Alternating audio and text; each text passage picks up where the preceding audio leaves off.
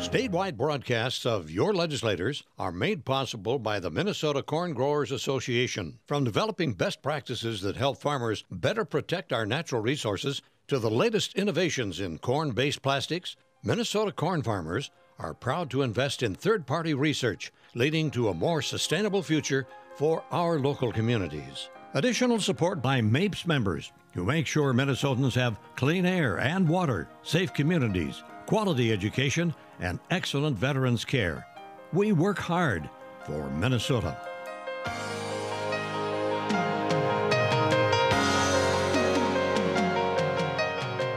Live from St. Paul, we welcome you to another session of Your Legislators, a roundtable discussion featuring state lawmakers answering your questions and discussing important issues affecting the citizens of Minnesota.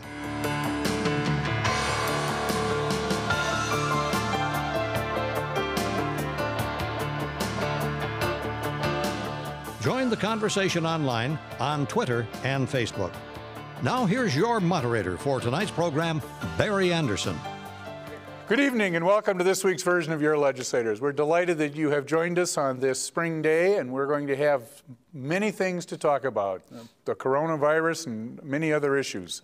I want to remind you that this is your program and invite you to call in with your questions or send them to us via the various electronic means which will appear on the bottom of your television screen. And we'll see that they get to our distinguished panel of guests. We begin this evening, as we do each week, by introducing that panel. And as we have been doing in this era of social distancing and an attempt to uh, um, stay at least six feet apart from everybody, we've reduced our panel from four to two, and we have two distinguished members of the Senate with us tonight. Last week was the House. This week it's the Senate, uh, and we'll see how this uh, we'll see how this goes. Uh, we'll see if they have any opinions on what the House is doing, but. We'll leave that aside for the moment.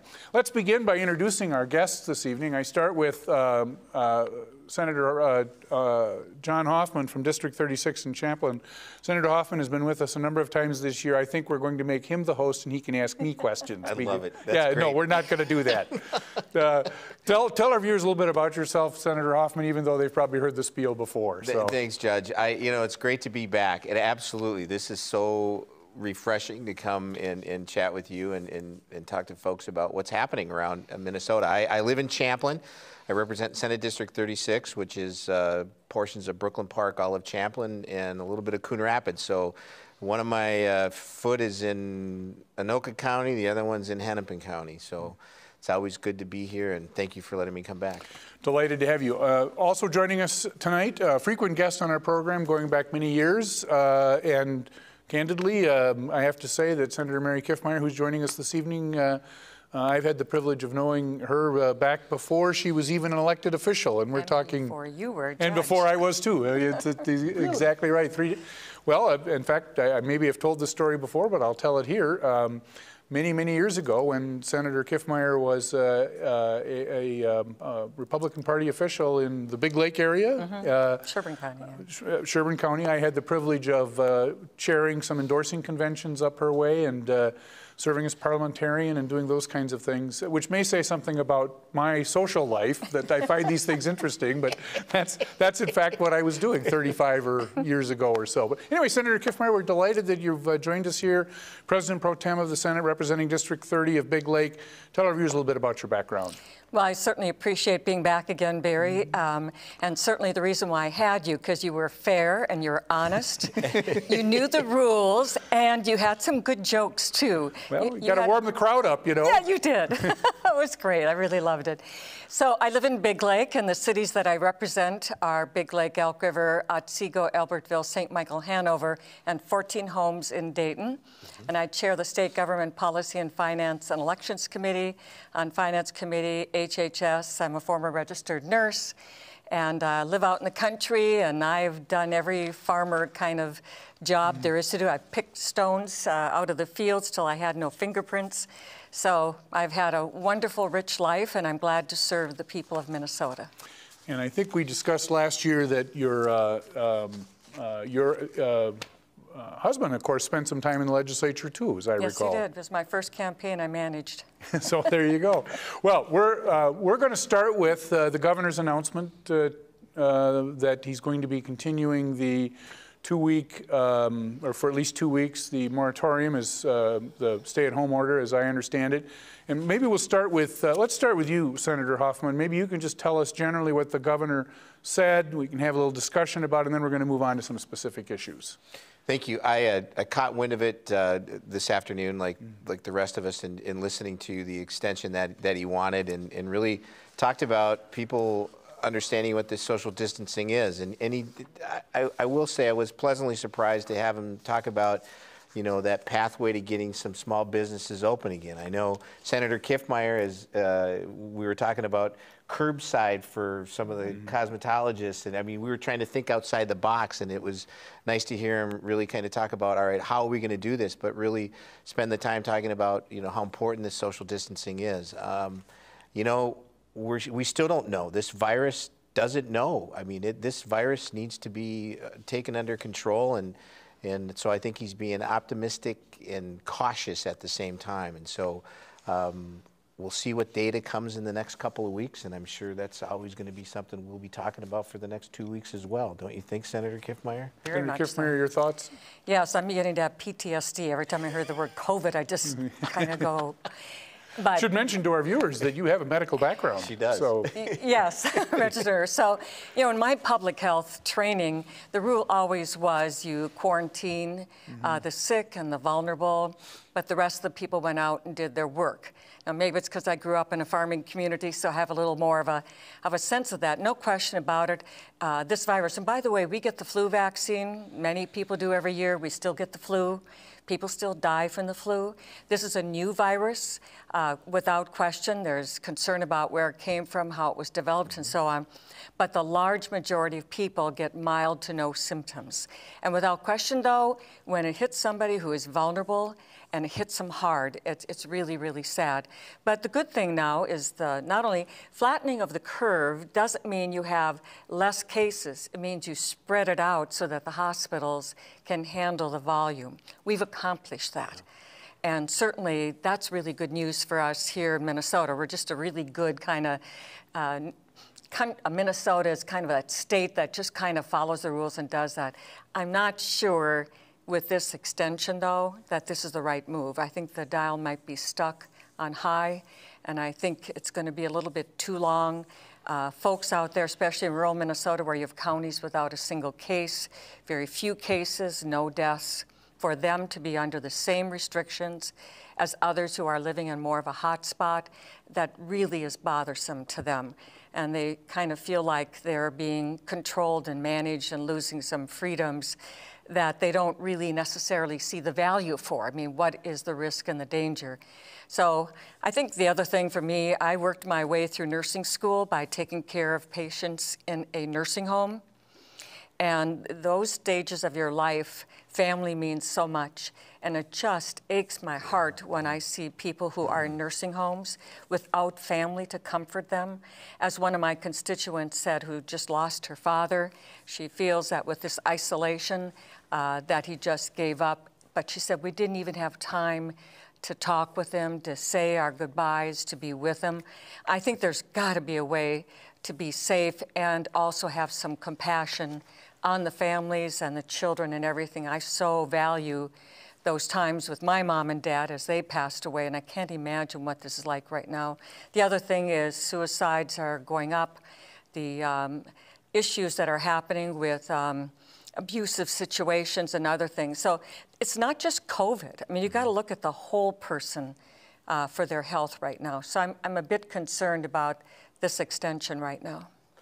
And those those issues need to be addressed. I mean, there, there's some discussion, uh, you know, a few weeks ago when Senator Abeler and I talked about there's some there's some flexibility in this piece, right? And it was mm -hmm. almost like the one size fits all. And I don't know if that was because of the the cautiousness of the fact that nobody knew what this virus was, but you know, Senator, when you talk about that that heart wrenching piece about you know not seeing grandpa and grandma and seeing mm-hmm. somebody at the last moment in their life and they felt alone. I mean, that's traumatic for families. And I don't know how you get that back. I mean, that's always going to be with you. I mean, there's some healing that needs to be going on. And yes, the mental health piece on this really needs to be uh, addressed on that. So, you know, thank you for bringing that up. You know, you and I were talking before we uh, started today a little bit about day programs, which Yeah. are really important. It's an area that you've had some uh, work with, particularly with the developmentally disabled and the effect on, on those programs. Can you talk kind of generally about that? I know we ta- discussed it briefly when Senator Abeler was here, and, um, and then I'll get Senator Kiffmeyer's reaction. But let's start there. You know, I, I, we were Senator Abel and I were on uh, Connor O'Mara's uh, podcast, and, and he's somebody that um, you know participates in some day programs. Plus, he has three other jobs, and the fact that his three jobs that he has, he's not able to work at, and he's not able to go see his friends at the day program. And and one of the things that he said was that you know there's loneliness. I don't have some social interactions, and I have a lot of anxiety. And it's really hard to see that happening because there's some things with the day programs. For example, in Winsted and Hutchinson, the day programs there, they're $40,000 behind on, on their transportation because they don't have any money to be able to pay what their piece is. We need to step in and help these folks by giving them a, a, a life vest. And that's what I we talked about it in Senate File 3694. We had some retainer money that we voted on to say, help these organizations stay afloat. Because here's what's going to happen if we don't keep those systems afloat, what's going to happen is they're going to shut their doors.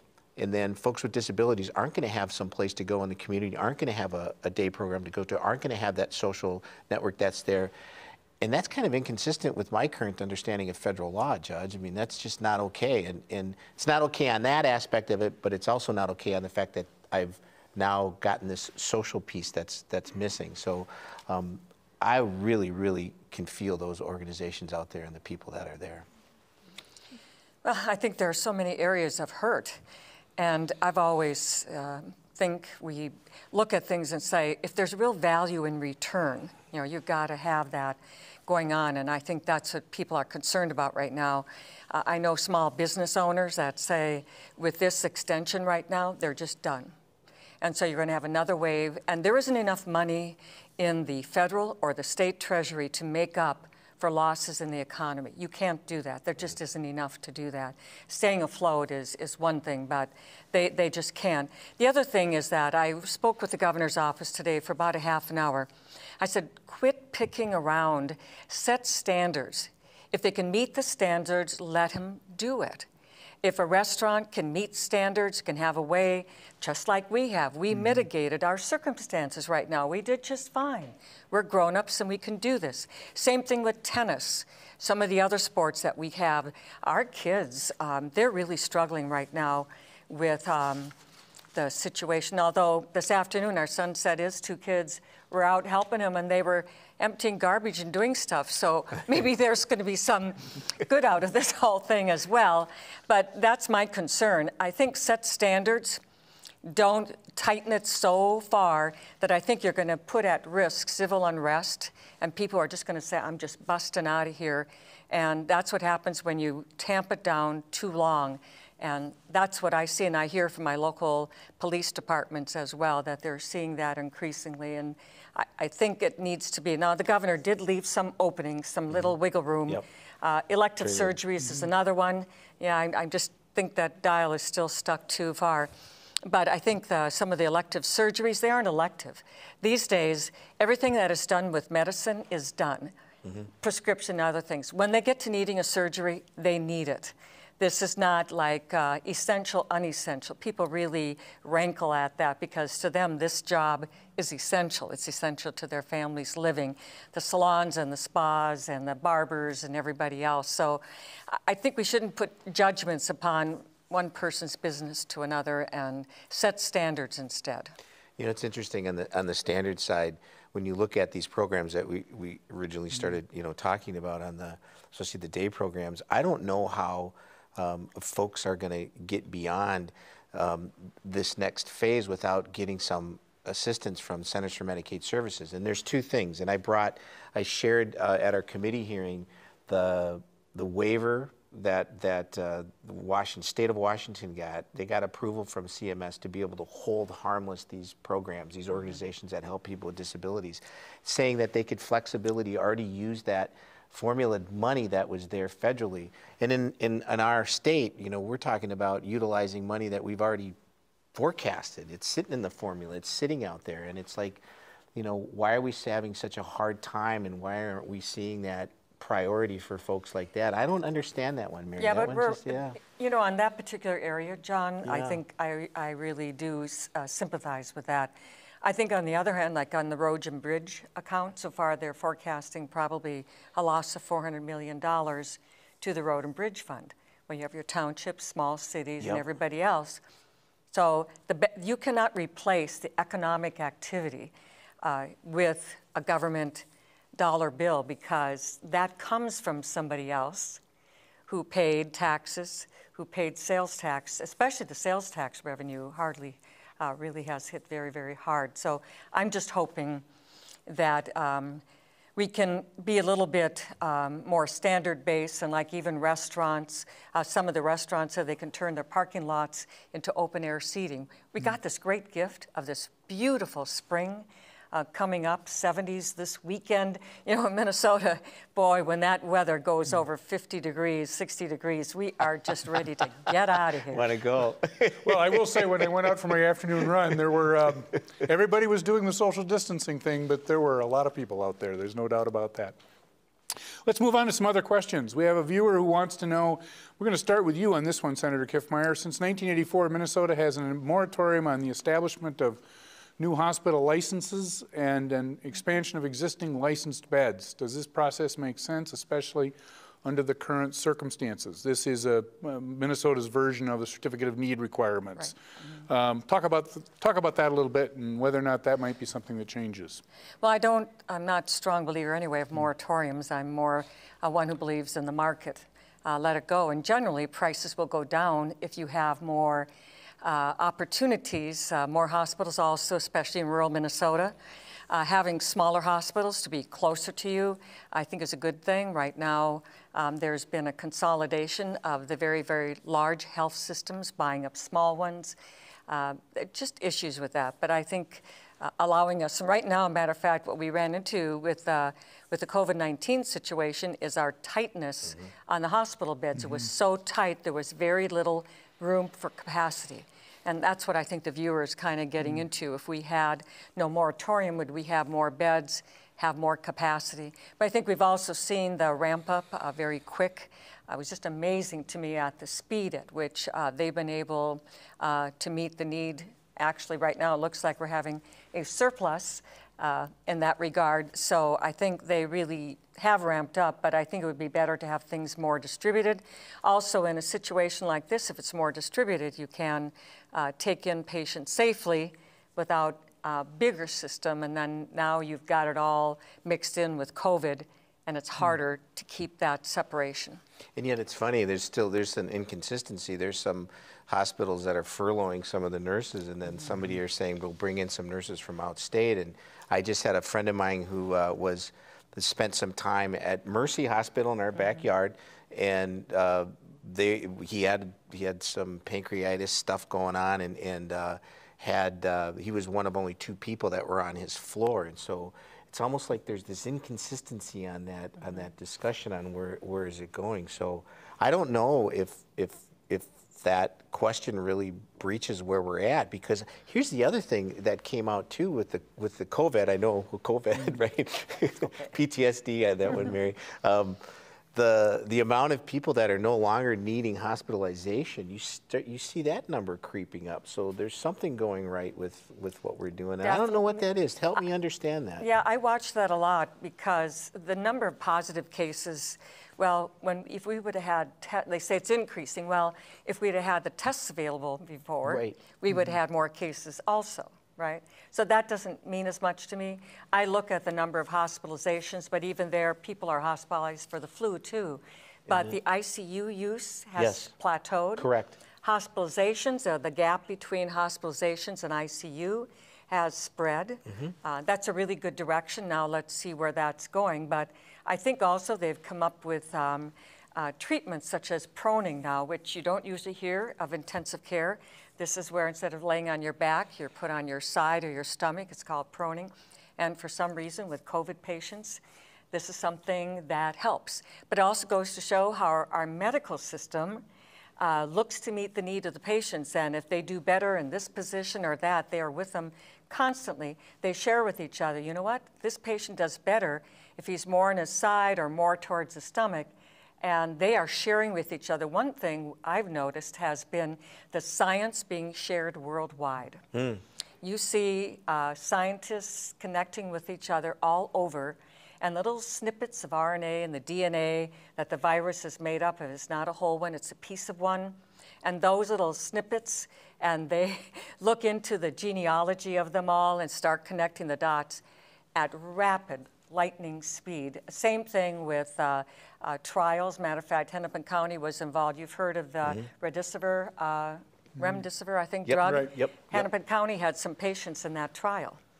And so they were part of that just a really, really phenomenal thing that's rapidly happening. And I think we, in our what we are doing as far as economy, should respond more quickly to that and allow a lot, a lot more opening because those things are happening. That care is improving rapidly.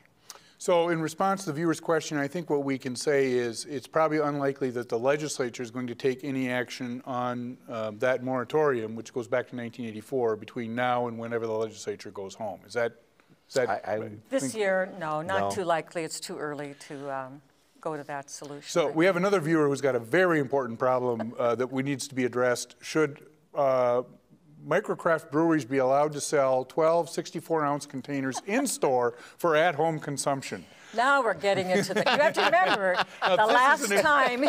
This is an important problem, by golly. The last time the government was shut down, right? It was government, though. The last time that happened, what stopped it was when they couldn't get the beer uh, tickets or seals or whatever they oh used. Oh my God! Yeah, the, the, that's, the, the yeah the, the that's what did it. Minnesotans said enough already. the 2010, 2011, that that yes, shut down. that was what did now it. Now I know, Mary. I thought it. I thought it was the. Well, they learned important uh, legislative principle, but if you mess with the breweries, you've got problems. Well, you, you notice problems. this time they kept the liquor stores open, but the unfairness that people feel because the microbreweries, which is a great local market. I mean, it is a dynamic local market, really fun, uh, very community driven, and they feel that they're put in the squeeze during this time. There's other kinds of folks that have had uh, emergency orders, lifting of different things, but for some reason, and by the way, the liquor stores making money hand over fist. They are just selling gangbusters. They're busy all the time, and yet these microbreweries uh, they are dying on the vine. So some of them have converted to sanitizer. They've done community things. They've mm-hmm. given stuff away. But especially going to May 18th, uh, it's just, just unfair for them to be at an extreme disadvantage when they're selling many times a similar product just in a little different way. If you can go in the liquor store, why can't you go in the microbrewery, get your product, or do curbside if you want to do mm-hmm. that? But if you can go in the liquor store, I don't see why you can't go somewhere else. And that's where the standards should be set rather than saying, oh, this one can and this one can't. Instead, you know, if you did it in that standards base, but in the microbrewery, they don't have off sale. Mm-hmm. So that's the biggest problem for them. And so this would be just a temporary situation for them to have some off sale. And the, and the biggest concern on that, Judge, was the, the, the fact that there was a, a brewery right here in um, uh, Minneapolis that ended up and 421 they actually poured all the the brew that they had that oh, they were made it, it was like down the drain it went and it's like so now this is money that i put into this product and now i'm having to pour it out. So the question came up um, last week and i think this week too is is there some the tax credit or something that you know we could give that that popped up? And I don't know, Mary, if that came in front of you, uh, your committee at all, but that's I know that was one of the questions that popped again, up. John, there's yeah. just not enough money in the coffers yeah. to do all of that. You so just is, can't. is something like this viewer suggesting, does that require legislative action or could the governor deal with that under Either his emergency? One. Either one. Either right one. now, the way the executive order rolls out, the governor could could make a motion on that. But mm -hmm. going back to what Senator Kiffmeyer just said, you know, when you only have X amount of dollars, and, and this came up too. You know, I heard one person say, well, you think the deficit was bad in 2010, 2011, 2012 that you and I inherited, right, mm-hmm. when we came in? No, we were there for it. We were yeah. there for that in 2012. I remember that. 6.2 billion. Um, folks said it's going to be bigger than that, right? But we did And do I it, John. Yeah. We did it thoughtfully. I remember you and Senator Abeler and Health and Human Services Committee. I was uh, there at the time as well.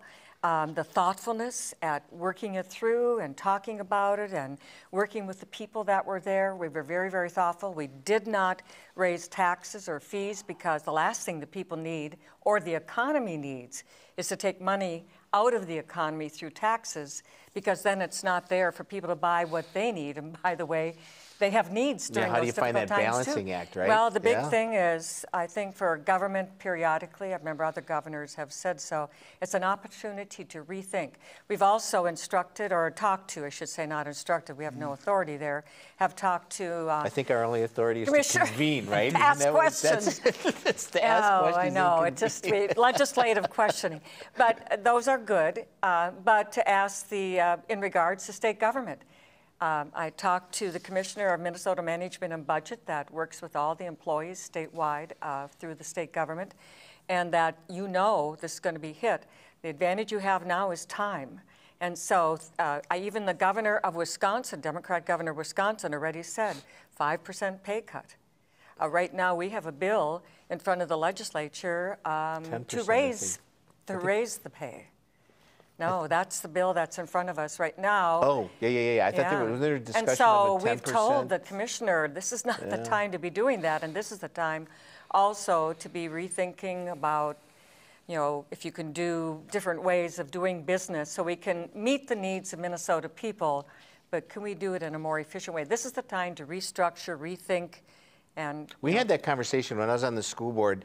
Anoka Hennepin at the time had 42,000 students, and in a period of time, all of a sudden dropped down to 36,000 students. I mean, it was the largest, still is the largest, but there was just all of a sudden, we were graduating people, people were there, and there was a need to right size. I remember Kathy Tingelstad, who was once in the house with you.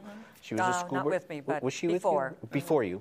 Um, she was on the school board with me, and, and we always kept using the word, it's time to right size the school district. And, you know, and that was closing down, you know, eight school buildings and reconfiguring, and, and we just mm. kept saying it needs to right size because it made no sense to supervise empty classrooms. It made sense to right size. And so it's almost like where you're going with that is, you know, maybe the conversation is, how do you right size government again to, to deal Well, with what we're doing here, right? I don't the know. I don't, Yeah, but one know? of the things that's happening out of all of this is that we're learning new ways of doing things. And some of the folks have already been saying, when this time is over, some of these things in the counties and the cities as well, we need to continue some of these things, that like we found ed, some ways to like do some it. of the stuff in higher ed. I, Right. yeah, it's interesting to be Barry's that looking conversation. for another subject. So uh, we got a viewer from Bemidji who wants to talk about a non, well, I think everything is related to the coronavirus, right? It's all, it's, it impacts everything that is being discussed today. Mine's but- not muskies. Is- No, it's not Muskies, but this viewer from Bemidji wants to talk about what's the status of the Environmental Trust Fund LCCMR bills, and will they pass this session? You know, I just heard that they had another hearing on it, that there was a conversation uh, yesterday, I think. Um, and I think it's, they're trying to move forward with that. I know there's lots of, lots of debate, like there is every year the LCCMR bill comes up. Somebody wants to do something different, and somebody yet wants to say, no, let's stick with what the bill that was presented to us from the LCCMR. And I don't know where along the path that is. Well, the problem is that was developed before BC, before COVID. Right. So, so if AC, hopefully, and then uh, MC, middle of COVID. So we are, I, I Where don't. we at right now? I don't know if some of those things need to be when you're in the middle. I call it a middler. That's the toughest time sometimes ever. But at any rate, I don't know if they're just uncertain right now. And also, we're so focused on COVID, it seems like dealing with that subject. But we got three weeks, and as you know, legislatively, three weeks, especially towards the end, is still a lot of time. I know, and, and they were. I know there was a, just a hearing yesterday again on it. I mm-hmm. know the conversations have been going on, so mm-hmm. Stay tuned. stay Yeah, stay tuned. tuned. Right. Mm-hmm. So here's an issue that we have not discussed in any of the programs so far this, this year, and I don't know that in, we've discussed it previously, but a viewer from Appleton wants to know, what is the status of proposals that will allow the whole state to use rifles for deer hunting in 2020? Anybody know anything about that? Rifles? Rifles. Well, we have shotguns, but rifles, usually that's a long distance. you know, Are but they talking about a 30 at six? I mean, what's his? no I, rifle. I, I have read Rifle, you the rifle. question. I, this is Oh. all I know about it. and you know what, John? If we don't know a whole lot, we might want to. I think we just say, I don't know the answer to that one. Do you know, Mary? I just know rifles go long distance in Yeah. most places in Minnesota. You know, Wyoming, Utah, some of those other places. But if you're going to shoot a deer or some of those uh, yeah. deer hunting, you need to be a little bit closer. So I don't all, know. all I will say about this topic is that my my uh, father, who died when I was 11, was a um, uh, did a lot of hunting and fishing. Uh, and my mom felt very strongly I should take a gun training class. And I had the nicest World War II veteran who was working with me, teaching me. Uh, we were going through, uh, you know, the clay pigeon thing and all of that.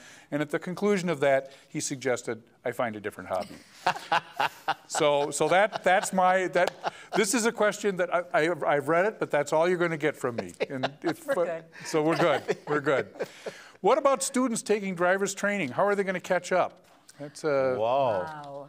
Viewer from McIntosh wants to know I, that. you know, there's there maybe there's a, an opportunity to think outside the box on this one. You know, with now this visual, the the whole thing with being able to do Virtual. virtual driving uh, could possibly. I don't know. That's a huge public safety issue on that one. I I don't well, know it's how the also schools- really rite of passage for the kids. I mean, they live for the day that they can get their driver's license and be able to drive. So that's a really tough one. But I have to say, I, that is the first time that's actually come up in this conversation. I'm sure it won't be the last time. It has not been active in the legislative session. I do think that that's going to be a difficult one because of the proximity in a car. I remember we had at the time we had these blocks. We used to practice before we got to get behind the car, you know, and this was when you could take it in school, and we had, you Mm-hmm. Yeah, know, we I used think to they're play just going with to have to some, They're have gonna some have true Yeah. on the road kind of thing. But you know, the other thing though is uh, gloves, masks, you know, whatever you need to do, uh, help the kids, you know, think creatively about public safety and being protective. But there is time, especially in this particular group. Uh, the one thing about this particular virus, as far as the kids, it is really usually, they rarely get it and rarely get it in a bad way. The bigger thing is the drivers, uh, the drivers that are teaching or taking the testers, you know, to be sure that they are safe as well. But I think, you know, let's think a little more creatively instead of just Yeah, and no. you did there with the driver thinking creatively is, you know, you don't know if I have that COVID virus on me, and even though it's not might not affect me, I might be asymptomatic or I might not. I mean, And you can wear PPE. Right? There are things you can do. Absolutely. So we have a viewer from uh, the Lake Mille Lacs area who wants to know why isn't guided fishing allowed? I've been guiding for 50 plus years. Wow. That that see there, that's one of those a great point. It's like why why why did we ask the question on why can't a self-service car wash be open, right? I mean there was one in Coon Rapids and now they can be, right? It's like that's another one where it's a guided fisher uh, guiding fishing person that's, That's going to be, right? And that's what makes it really hard for people. They see those kind of common sense things and just really, really struggle with I it. think that would be one that we should. That's a great question. The next time you have a, a conversation, I think you'd be asked that question. I mean, it's just like the one. Why? For example, I have a family in Brooklyn Park.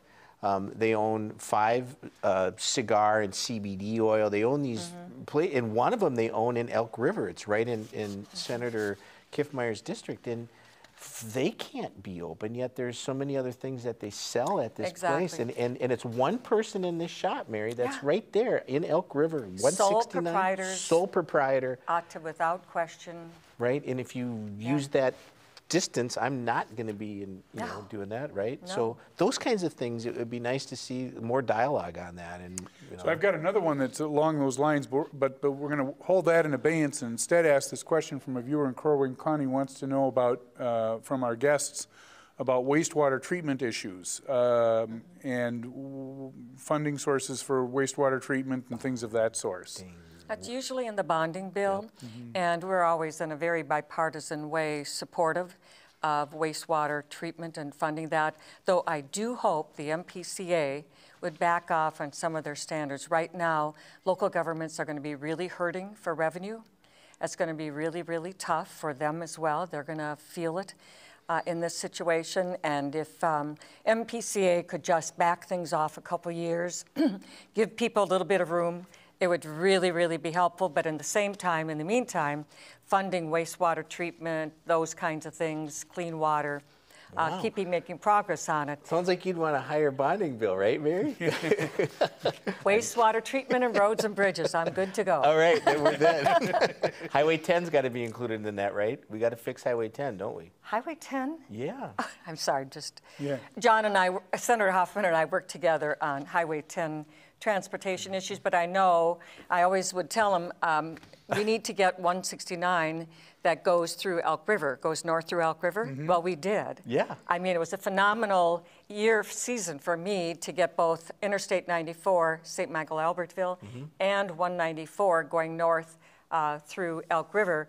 But I always said, if, if you go faster through Anoka, you're going to hit Elk River and come to a screeching halt anyway. So And, and you have a, and there's a there's a safety So get there's my a road safety first. walkway. You remember it, you and I were on the bill to get safety for the for the pedestrian crossing Yep. on that. Do you remember that? That was And yeah. by the way, we got it. Yeah, we the did. community, I encouraged them. I said, don't be afraid of those MnDOT folks. They are very, very nice people. and politely and respectfully tell them why this really matters to you and show up at, and I want to tell you, did they ever, from four in the afternoon to eight in the evening, it was packed.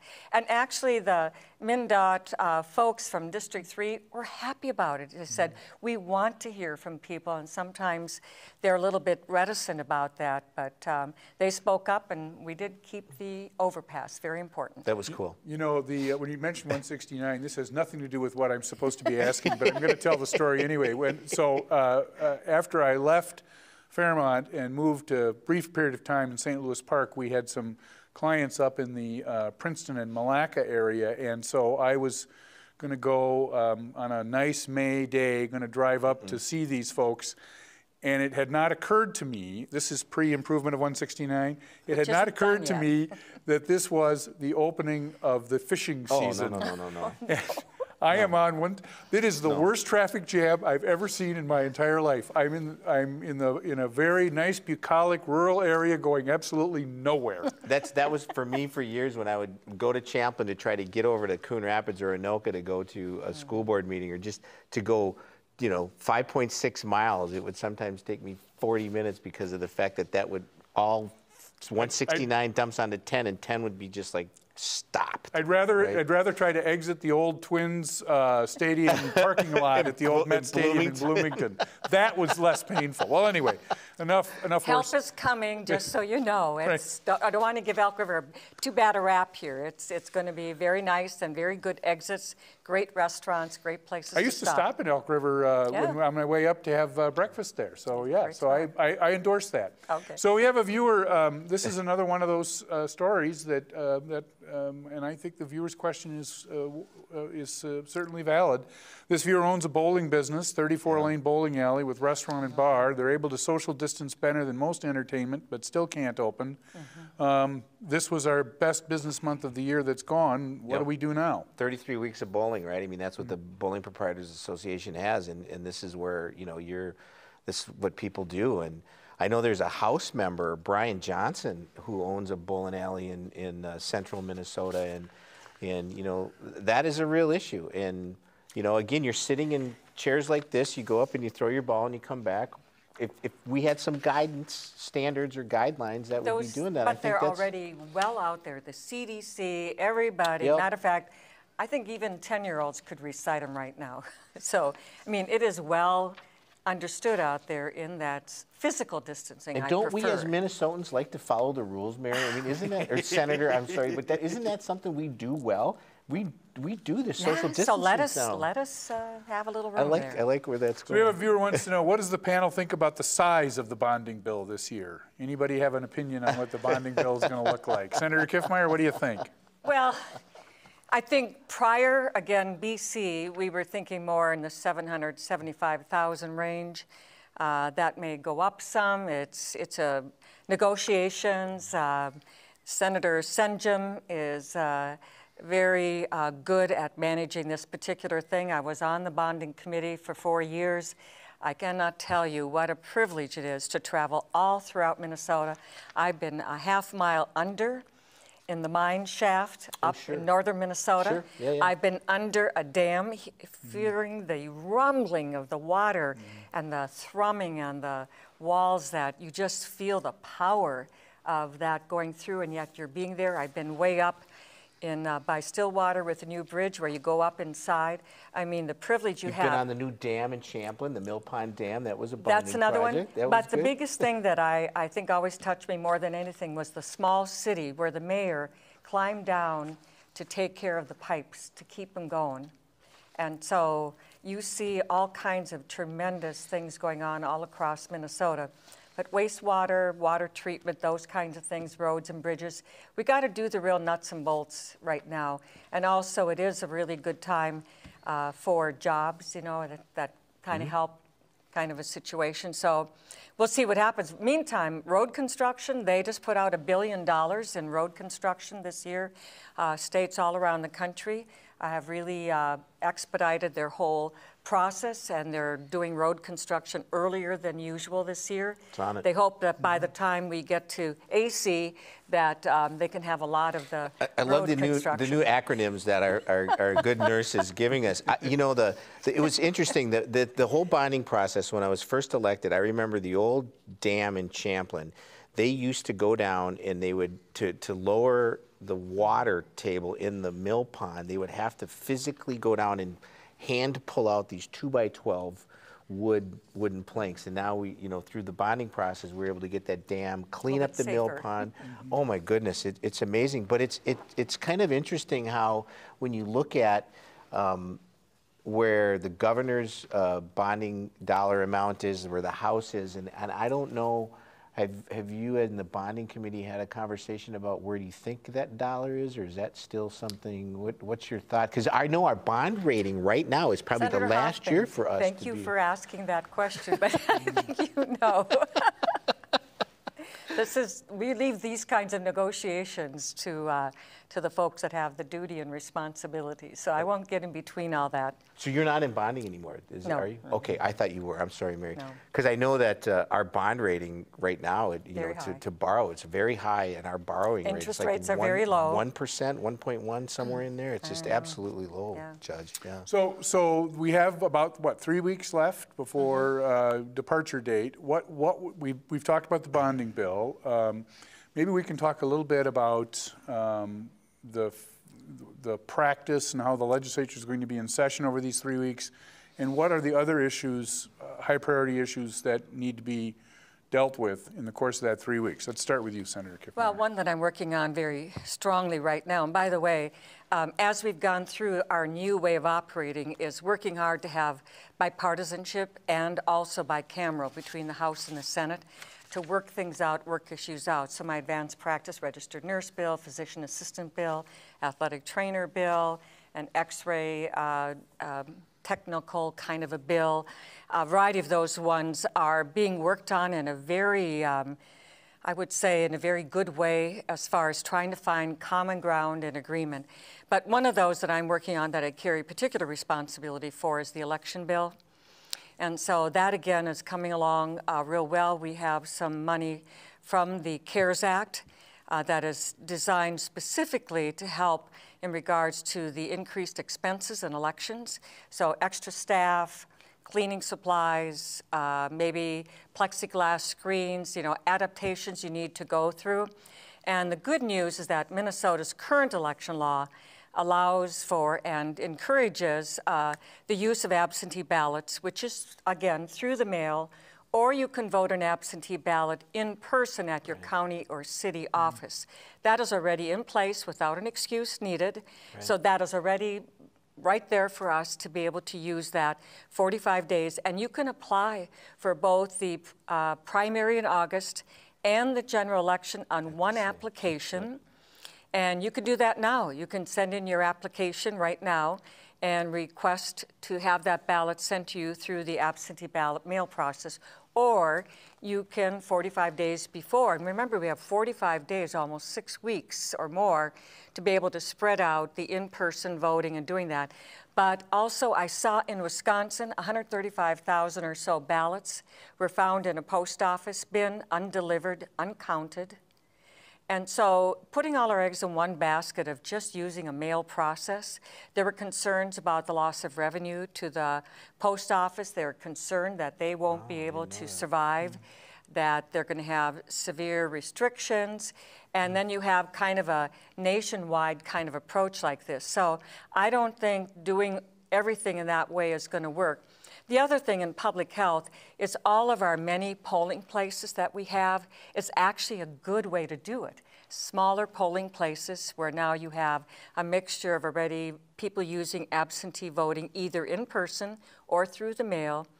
And then on election day, using those polling places all throughout. Nothing better than a township or a city ward or a precinct where you have people. So I think that is a protection to us to have those polling places. The one thing is we need some adjustments, and one of those is not having polling places in nursing homes, assisted living, or congregate care. We need to, and we have a state law right now that says you have to choose your polling places by December 31st of the year before, right? Mm-hmm. Yeah. And then they stay the same for the whole year, which is good policy. But during this time, we need to have a one time uh, change That to needs allow to them change, right. to do that. Does that have to go Also- through your committee? Because the BC piece, now you're in the MC, so on the AC. We're in the MC I'm stage, speaking, so that's good, right? we're working hard on it. Yeah, but yeah. remember, I think it's likely that the August uh, primary and the general election, November, is going to be more in the BC. Remember, you always, even if you get the flu vaccine, people still get the flu and die from the flu. So this is a COVID type flu, it's a virus type thing, and it's got some unique characteristics about it, but it's going to generally, a matter of fact, I'm concerned about everybody being so cooped up that by the time they do come out, we can have a perfect storm. And mm-hmm. so we don't want to have that. We really want to have that UV light May, June, and July. And UV light kills bacteria, kills viruses in particular. Viruses do not like it humid and they don't like it warm or hot. So this is the time where, you know, get out there and be able to have some benefit from that. But the polling places with schools as well are kind of an issue. And I'm not really for having large gymnasiums where you funnel everybody in mm-hmm. and you go through that. That's a concern for me. I think it's better to have our distributed polling places that we have right now. I think that's a better public health way to go. But I think out of schools, so you aren't mixing the generations, right? Mm-hmm. That I think would be a good thing to do. Um, we have churches everywhere in the state of Minnesota that usually don't have anything going on Monday and Tuesday. So I think there are places uh, that we can uh, have polling places, and I absolutely think that our county election administrators, county auditors usually, and our city clerks and township clerks, they care about their neighbors. They're going to do things. The big thing is to use the CARES Act money and to use the Help America Vote Act money to make sure that we do that. And one of the things that we've talked about is having the Secretary of State office, like um, I did, we did a state contract for election equipment. Well, who would have thought of it? Now we could maybe have a state contract for sanitizers, for plexiglass, for things that the counties would need, and instead of going out and bidding and having a contract, maybe a state contract. But we need options because sometimes you have somebody who says, hey, I'll donate the plexiglass. I got time on my hands, I'll build a little stand. I saw them already in gas stations. So uh, there are creative ways, Minnesota's innovations. We just want to make sure that any laws that might endanger or hinder, uh, give flexibility where it's necessary, uh, but already Minnesota's current law. I love it when she puts her nurse hat on. This is great. You just you got the public nurse your, hat. your public health aspect, and you you the little hint of public health that comes out. It's like, all right, this is uh, you know you're learning something. My first four years in the Senate, and I got in in in I was on the elections. That was one of the funnest committees to be on because you know looking at Minnesota has this rich history, and it goes back, Mary. You were Secretary of State. I still have a piece of paper that has your signature on it, as Secretary of State. It was like, um, and it is. It's on my office wall there, and um, I think I've told you that many times. But and and so having the discussion about our, our voter integrity and how we do voting in Minnesota and how it's such a prideful thing that we do not take for granted and we do the right things in Minnesota and hearing about this nice choice of mix and options that we have in Minnesota and how you keep that with now that we're MC you know how do we assure that people are safe? And hearing you talk about you know the small precincts and wards and I even think about where I vote now. I you know the Champlin uh, hockey arena. And you know uh, there's a lot of folks that you know utilize that uh, the absentee balloting, no excuse voting that we have in Minnesota. They vote early, they vote um, to go through. Um, there's kind of already a built-in social distancing piece there, and and so you know the the I guess the the thing for you guys to do in the election is how do you make that a standard? How do you make that something? I don't know. I mean, that's uh, I think. Well, but it's the same principle that I talked about. One size does not fit all. So we have rural Minnesota, we have inner city, but each one of those has a responsible authority. If we give them the, the basic tools that they need, let them have the standards, and then let them have the flexibility to meet the needs of the folks they have. And by the way, I want to do a shout out though for polling places. Uh, there's a reason for them.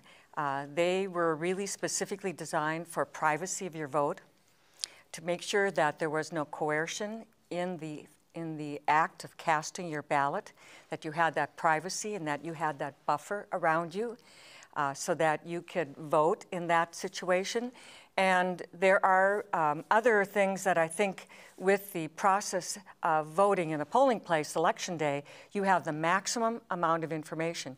We found in the most recent presidential primary, there were people, all of a sudden, can, two candidates withdrew. They had already cast their ballot earlier. Right, right, And right. now they couldn't Wanted do to- anything about it. Right. And they were stuck with a ballot cast for somebody that at that time really wasn't even on the ballot. So um, getting all that information, doing that. But there's got to be a flexible way. The big thing is to avoid chaos, that we have things established in a bipartisan, in, in a way that we've all worked together on that. Once having done that, we should function within that. And I think I remember Governor Dayton saying to us when we were on the same committee, he, Mm-hmm. and he said, the only way uh, election bill has to be a bipartisan Mm-hmm. agreement. And uh, there was a, always a joke when Scott Newman was on there. I used to say, you know, we used to say, what would Newman do, right? It would be like, so it's like, but I'm glad she brought that up. So Senator Hoffman, I want to come back. I've got another election question here, but before I do that, Senator Hoffman, I want to come back to you and ask you what what priorities do you see the dealing with in the remaining three weeks? Um, in, I'm thinking independent of coronavirus, but maybe that's part of the conversation too. You know, there's I, I always have a deep a deep um, passion to make sure that we're doing what's right for people that need our services, right? People with disabilities and our elderly, and and I'm always going to be um, the person in the middle of the room assuring that folks understand that, and um, I I want to make sure that you know stuff that we had done, and I know there's um, you know, we could simply do like one one is th- there's the autism inclusion uh, bill that we could probably do because we set aside some rules which would take really nothing hard to do and I know it's sitting in your committee uh, Mark Koran and I are on it I think you're on it too it's uh, I'll give you the Senate file number 3652 or That's one of the biggest things that concerns me right now is we're so focused on COVID sometimes. Yeah. That some very important bills That's like that. And then the other one is like there's Gotta look at that. Discrimination going on right now with um, uh, organ transplants. There's there Mm-hmm. absolutely there's a discrimination about people with disabilities not getting organ transplants because they have a disability. That's just absolutely wrong. Mm-hmm. And I know uh, you know that's so stuff like that is really important to me. I want to see go through. I know that one's sitting in Senator Warren Limmer's committee and clearly the the provisions that that we had worked in our committee on making sure that you know our programs and providers and home and community-based services and people are doing we wanted to do imagine imagine independence and i think you know at the beginning of the year we talked with you mm-hmm. about that and it was about for people that really want to have a job and have that career let's make break down these barriers, stop these barriers from happening, and yet making sure that people that are saying, you know, well, I, I need these services, don't don't don't erode those. And so I'm always going to be there. I'm going to keep fighting for that, and that's what I, I want to keep doing. The stuff that we started at the beginning of the year in our Health and Human Services Reform Yeah, Committee. I'd like some to of see absolutely some of those things, Mary, go on. I have lots of bonding projects that are absolutely bipartisan. I think 90% of my bills are bipartisan, and I want to see Highway 10 get fixed. I know we talked, now 14's been fixed, 169's taking care. Mary, you drive on Highway 10, and you always say, you got to get through Coon Rapids, let's fix that thing. Things like that. Champlin, there's still some pro- uh, promises along there. It'd be nice to have those conversations to get that thing done, Barry. I absolutely would, would love to see that happen. I'll work with you, John, Thank with you, Senator Hoffman. So, so, so we have a so we have a viewer from St. Paul Park who wants to know: Should we do away with the closed primary system? how a person votes in a primary is not kept private. Shouldn't that be changed? Now, I think this applies only to the presidential election. Yeah. Uh, if I recall correctly. Um, and um, of course, we won't have another presidential primary for four years or three, yeah, four years, three and a half, whatever. Anyway, the point is, um, this viewer's concerned about that issue. We've had some discussion. Anything happening on that, Senator? She's served her committee, data privacy. That's also one of your bailiwicks, right? Well, what do you it do is, with that, but right? we're in the middle of something very uh, new to us Mm-hmm. in Minnesota. And so I've told everyone I don't like to um, change things in the middle of the process. It's just kind of a fundamental thing, but I am absolutely open. Uh, when we get through this next year, uh, study it. I know that the University of Minnesota, other schools as well, are taking a look at studying this. How did it work? But in the meantime, look at that. And just so people don't get confused, though, the August primary, uh, that is one that is in what's called an, it's actually a modified open primary. Uh, if you vote on the Democrat side, then you need all to vote only in the Democrat side. If you vote Republican, only in that. So now, if you get to nonpartisan ones, you can do Republican plus nonpartisan, Democrat plus nonpartisan primaries. But you have that mix, and so I don't But the want point people. is, there's no, there's no recording of your vote. It's a function, you take your, you you Right. cast your ballot, and as long as you don't cross the lines and spoil the ballot, the ballot counts. And the nice thing is with the precinct optical scan, it checks your ballot before you leave because you have that privacy thing going on, which is wonderful. But if you do make that mistake, it'll tell you you can correct it and cast a ballot. Fif- 15 seconds left, Senator Hoffman, any thoughts on the closed primary and election bills? Any You know, else? I, I absolutely. There was a it was a trial and error for us at the beginning. I know we had there was a conversation of a bill coming forward. You know, we really uh, folks are looking at it. And uh, bottom line is, I think we got to do a better job of, of making sure that we're not discriminating people that want to get to the polls and get to the polls. This is one way of doing it. We can do a better job. Very good. I want to thank our guests for this evening. I want to thank you, the viewers, for being with us. This program is really all about you, and we're delighted to come to you each week during the time that the legislature is in session.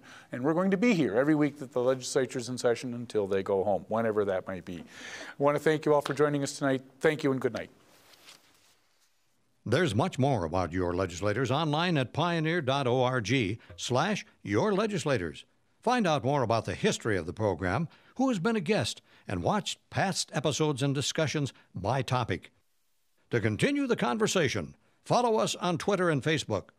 Your Legislators is made possible in part by the generous financial support of the Minnesota Corn Growers Association. From developing best practices that help farmers better protect our natural resources to the latest innovations in corn based plastics, Minnesota corn farmers are proud to invest in third party research, leading to a more sustainable future for our local communities. Additional support by MAPES members who make sure Minnesotans have clean air and water, safe communities, quality education, and excellent veterans care.